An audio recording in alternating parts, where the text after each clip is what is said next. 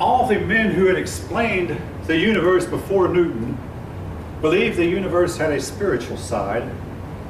Not that Newton was in any way an atheist or in any way an ungodly man. He was a believer. That is, he believed in God. No, he did not believe in the divinity of Jesus Christ, but he believed in God. But nevertheless, his explanation of the universe seemed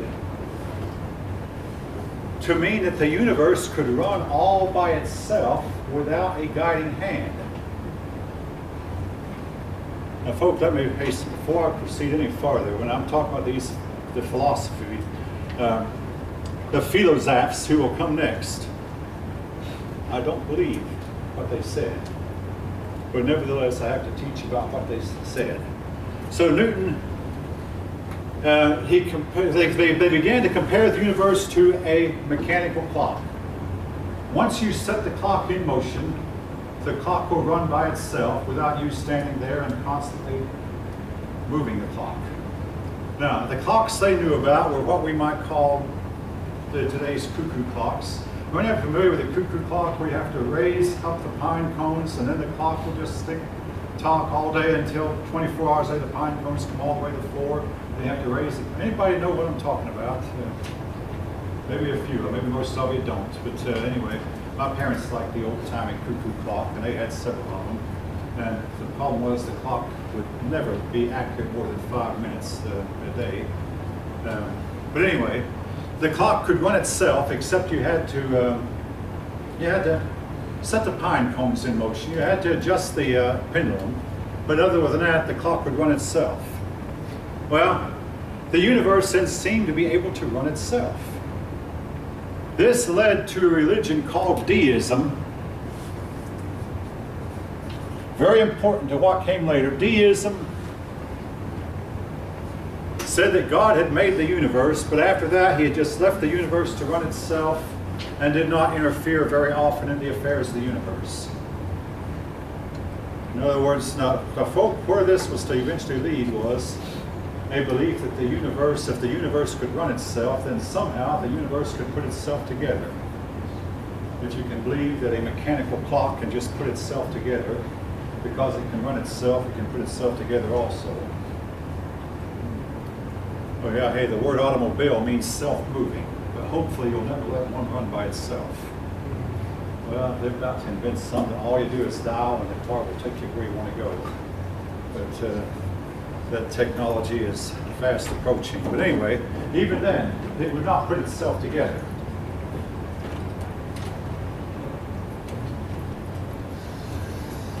All right.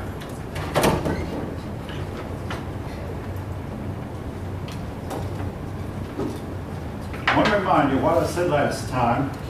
Newton's law of gravity does not seem to work outside the solar system. It works pretty well for bodies inside. Then you go outside and it just seems like there's not enough matter. The stars are too distant from the center of the galaxy, and the center of the galaxy doesn't seem to have enough matter to create enough gravity to hold a big galaxy together. And uh, what do the scientists do? Well, they postulate there must be a whole bunch of dark matter. And then when they see that some of the distant galaxies moving, some of them toward us, some away from us, they begin to postulate there must be a whole bunch of dark energy because they can't see any kind of energy that makes these galaxies move. So it must be energy that we can't detect. Um, again, folk, all that we know about the universe outside our own solar system can be summed up in one word. Remember what that word is? Nothing. Nothing. Basically, I mean, hey, I'm it's a good thing we're observing it, but all right. So much for the reform in science. The reform in religion led to a reform in science, and the reform in science then led to changes in our philosophy. Now, this word might look like it's misspelled, but actually it's a French word, and it is properly spelled. It's pronounced philosophes. The philosophes And for many years, I was mispronouncing pronouncing it, but your book gives the pronunciation as philosophes. These, this is the name given to the Enlightenment philosophers of the 16 and 1700s. All right, you notice I called them Enlightenment.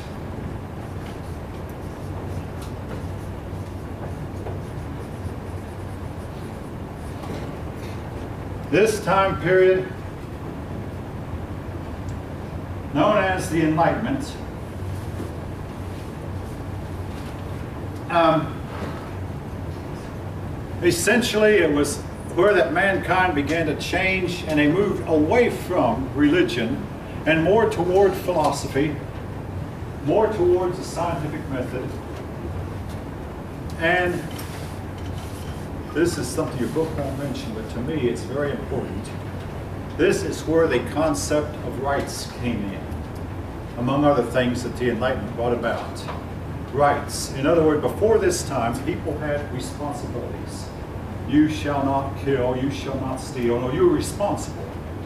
But uh, during this time, you had rights. You know, you had a right to uh, this, that, and the other. And of course, where this was to lead is the idea that you have a right to a free public education, a right to, just name it, you have all kinds of rights.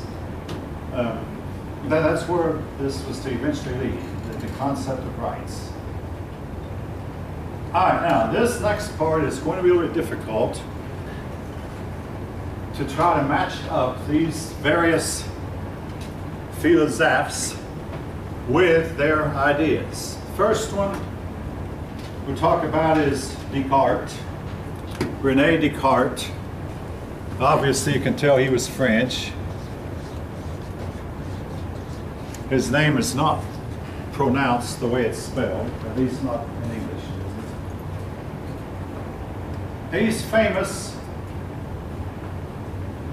for, uh, among other things, separating mind from matter but he's also famous for the saying, I think, therefore I am.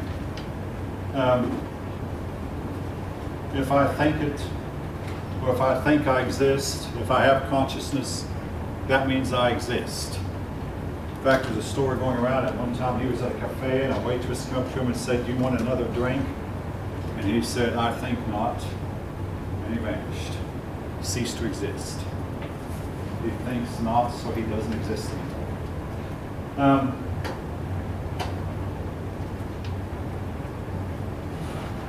I think, therefore I am. Um, next one. Oh yes, your book then goes into a digress between what happened They compare Europe to China. And they ask the question, why didn't China experience a scientific revolution? Now, quote, it's just been yesterday, yesterday morning that uh, I compared Europe to China and got some young woman very much offended at me because I, she said, I promise you, this, the founder of our faith did not quelch scientific discoveries.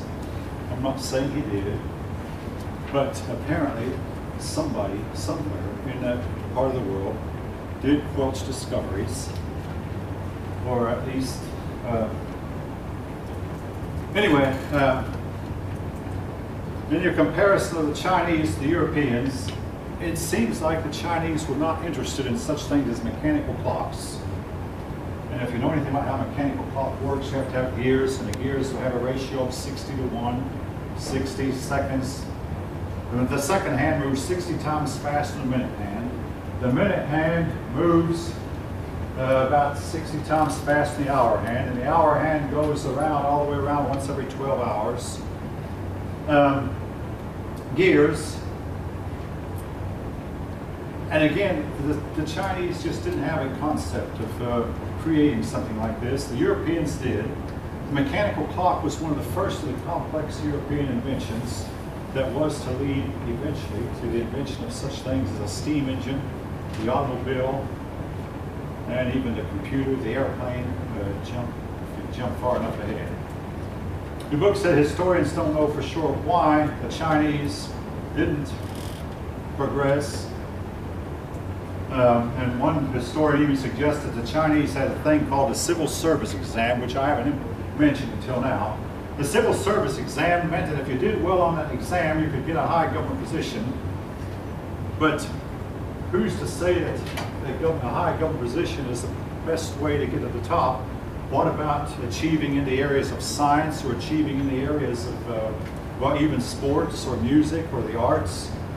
And uh, the Chinese only emphasized, well, you know, if you want to get ahead, get a high government position, and not if you want to get ahead or achieve, become a great scientist, become a great industrialist.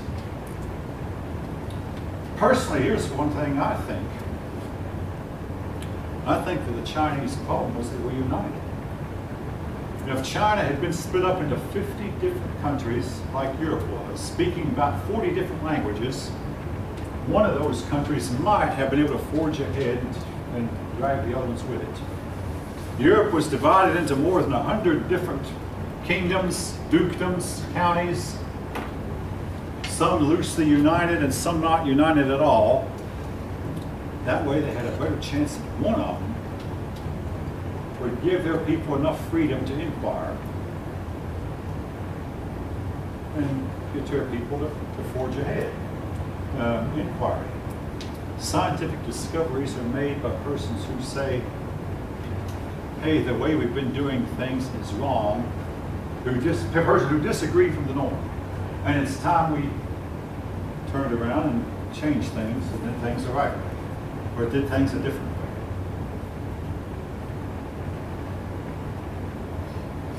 All right. Now, your book then goes in onto the Enlightenment.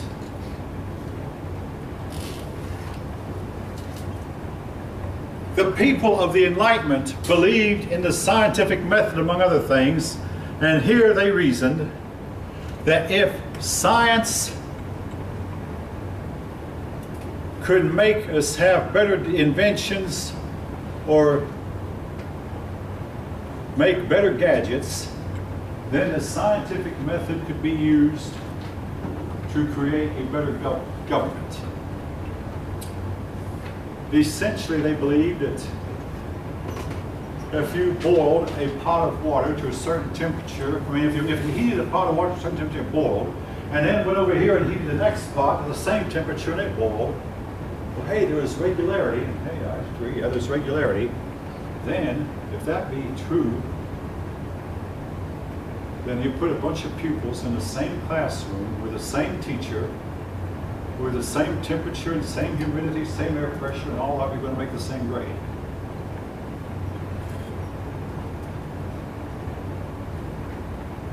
Or you get a society and get just the right type of government with the right kind of ruler, and that automatically guarantees this society will be an orderly society won't have any problems because we found out the right kind of person who should lead and the right kind of persons who should surround him and, you know, hey, uh, sounds great. To this day, we have not found the right method. It's a scientific method.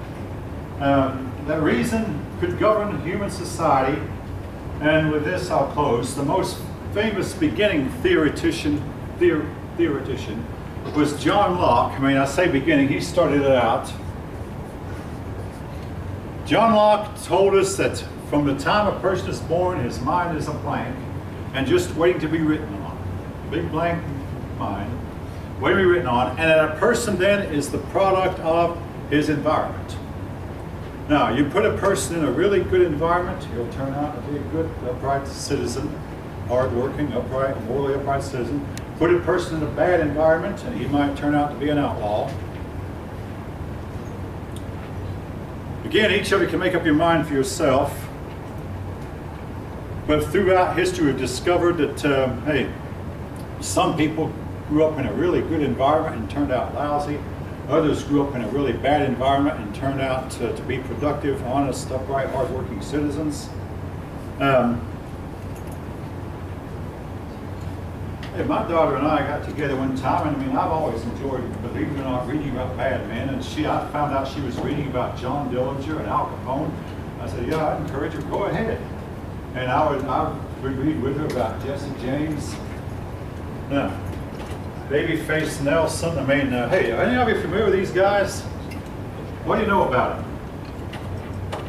Bonnie and Clyde, anybody, anybody heard of these men or women? They're gangsters.